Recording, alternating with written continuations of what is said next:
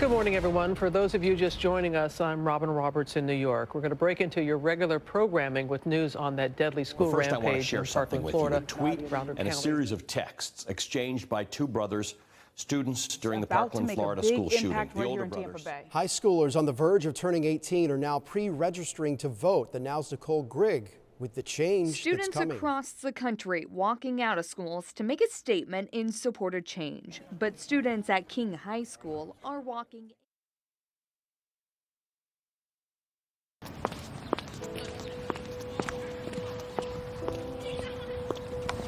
Okay, so tell us your name and your grade. Uh, my name is Matthew Gunnings and I'm a senior, 12th grade. Cece Ronian and I'm a junior. My name is Michelle and I'm a junior. Okay, and why are you doing this? I feel like we have the rights to stand up for what we believe in, and it's not right for those 17 students to have been die to die because they were shot down, shot by, uh,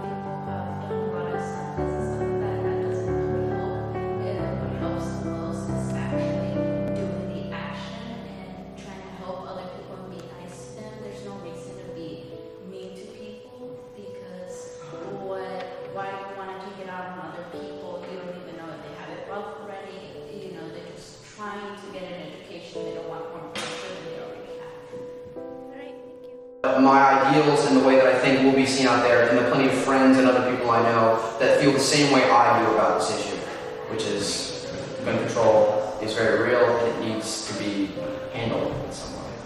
I just hope that wherever this walkout is going, that the voice or the opinion is heard and it can be brought up to a bigger source to be dealt with.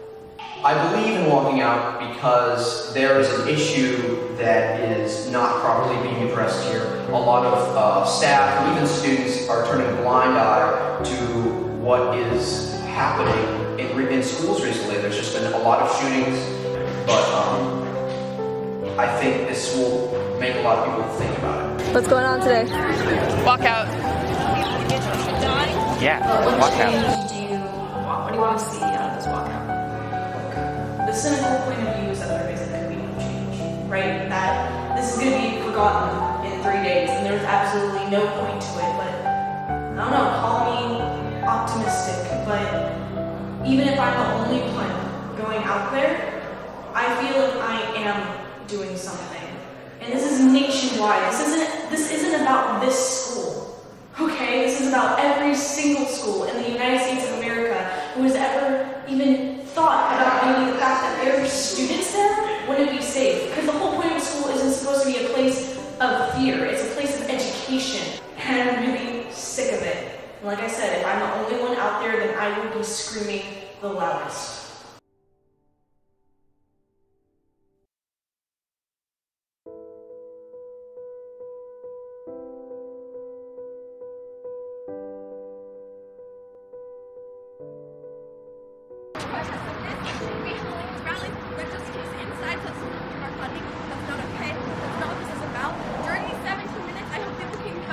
what we're doing this for, the people that have lost their lives, and how we can better ourselves in the future.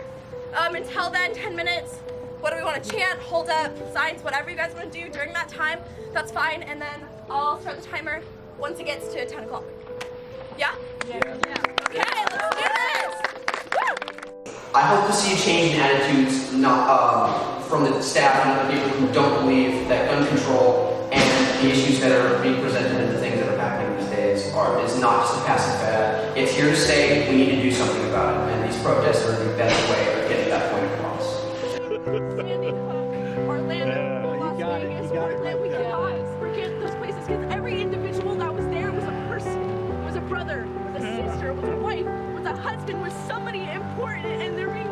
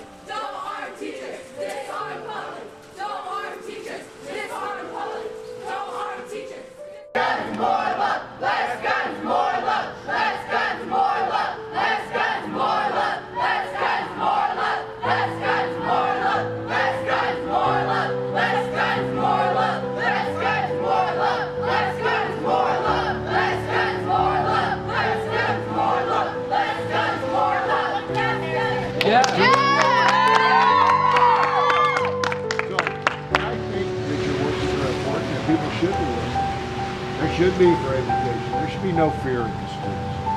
You know, I was a cop a long time, and I, I can tell you now, there's nothing worse than a call to the school where a student's been injured. And I think we as a community should strongly support what you're standing for about making the school safe. And there shouldn't be the fear. You should be able to go there and learn. And people in Washington have got to do something about gun issues.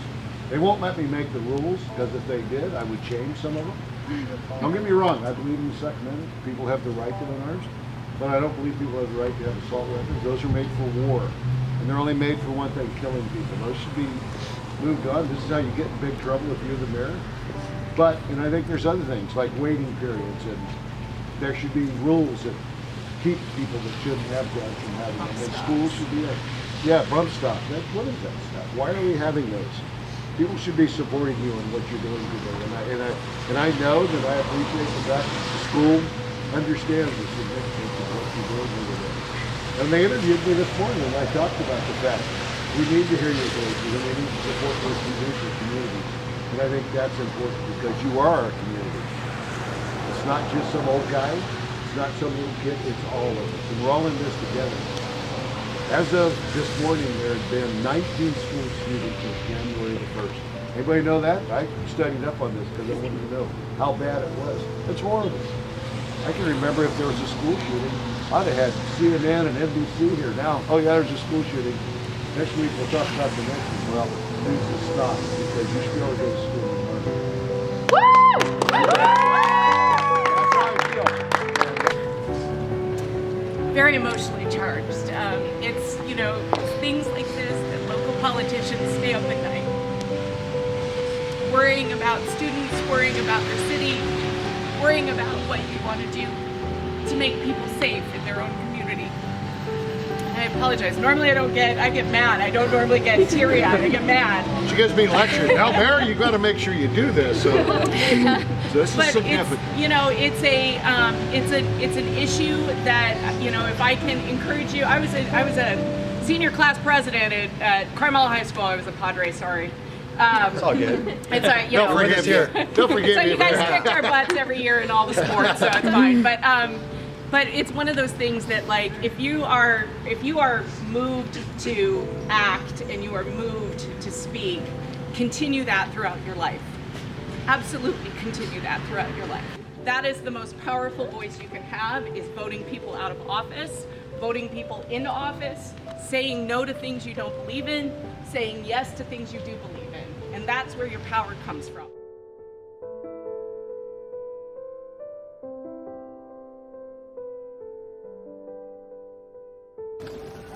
Here are the names and the stories of all 17 victims. Alyssa Alhadeff. Alyssa was 14 years old and was a student at Stoneman Douglas and played soccer for the Parkland Travel Soccer. Lori, her mother, dropped her daughter off at school on Wednesday and said, I love you. When Alyssa's mother heard of the shooting, she hustled to school, but it was too late. She said, I knew at that point she was gone. I felt it in my heart. Alyssa was smart, beautiful, talented, successful, awesome, and an amazing soccer player. Chris Hixon. Chris Hixon was remembered as a loving father, husband, and veteran. He was the athletic director and wrestling coach at Stoneman Douglas High. Hixon was a huge NASCAR fan and was set to celebrate his 50th birthday on February 25, 2018. Frank Valaire, one of Hixon's co-workers, said, He was there always, whenever there was a need. He cared for all around him as if they were his own. When we heard what happened at Douglas, we knew he'd be in the middle of the action. Carmen Schentrup, a musician, was a future Gator who would have been would have made this a better world for all of us after she would have attended the University of Florida. She was a perfectionist who loved red lipstick and teal colored bags. She was also a National Merit Scholar semifinalist. Cara Loughran loved the beach, adored her cousins, and was an excellent student. She was only 14 years old. Cara was an Irish dancer and always had a smile on her face. Nicholas Dworet. Nick was a promising swimmer and was recruited for the University of Indianapolis swim team. He was captain of the swim team at his high school and brought happiness to everyone around him. He dreamed of making the Olympic swim team and going to the 2020 Olympics in Tokyo. Joaquin Oliver. People often spelled 17-year-old Joaquin Oliver's first name wrong, so he went by the nickname Guac. He played basketball in the city recreational league and loved to write poetry. He was always such a positive person. He always knew how to make us smile, a friend of Guac said. Joaquin loved singer Frank Ocean and had been visiting colleges in Central Florida. Meadow Pollack was 18 years old and planned to go to Lynn University in Boca Raton, Florida next year. She was just unbelievable, Mr. Pollack said. She was a very strong-willed girl who had everything going for her. Mr. Pollack described his daughter as smart, beautiful, and caring. She worked at her boyfriend's family's motorcycle repair business. She just knew how to get what she wanted all the time. Mr. Pollack said nothing could ever stop her from what she wanted to achieve. Luke Hoyer was a 15 year old basketball player who admired NBA stars like LeBron James and Steph Curry, and he loved mac and cheese. Anytime we got bored and wanted to throw or shoot, he'd be the person to go to, Luke's cousin said. Luke was the youngest of three children. I know Luke loved his family, his cousin said. I know he did. He had a huge heart. He was quiet, but a very happy individual. Alaina Petty was 14 years old. She had helped do cleanup work in Florida after Hurricane Irma, and she was an active member of a volunteer group with the Church of Jesus Christ of Latter-day Saints. Alaina was also a member of the Junior Reserves Officer. Scott Beigel, a 35-year-old geography teacher, grew up on Long Island but attended the University of Miami and later got a teaching job in Florida. He had a keen sense of humor, taking an ordinary situation and finding the comedy in it. This was his first year at Douglas High. Beigel died while protecting students. He unlocked the classroom door to let students back in, but didn't have the chance to lock it again before being gunned down. According to a friend of Beigel's, he had always put the needs of others ahead of his own. He was a hero way before this happened.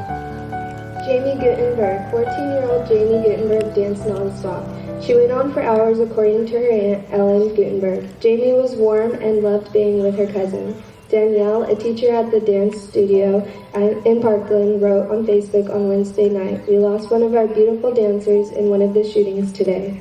Jaime, you were like any other. You made yourself known wherever you were. You were funny, spunky, hilarious, and always brightened everyone's day. Martin Duque was 14 years old and was a freshman.